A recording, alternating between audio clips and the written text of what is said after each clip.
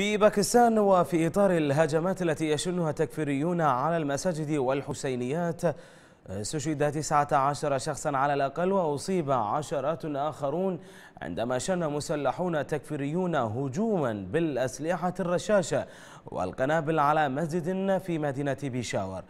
وقالت الشرطة إن مسلحين اقتحموا المسجد الذي احتشد فيه المصلون لإقامة صلاة الجمعة وفتحوا النار عليهم قبل سماع ثلاثة انفجارات داخلة.